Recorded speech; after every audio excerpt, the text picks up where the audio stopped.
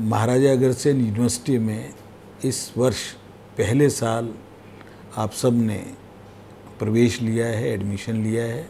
आपको बहुत बहुत बधाई।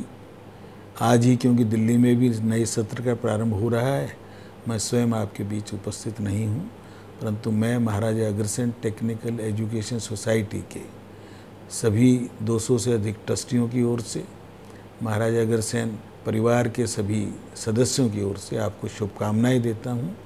आपके vice chancellor, doctor S P Bansal, adviser doctor Sahajpal और सभी साथी मिलकर इस यूनिवर्सिटी को आने वाले 10 साल के अंदर देश की सर्वश्रेष्ठ यूनिवर्सिटियों में शामिल करेंगे।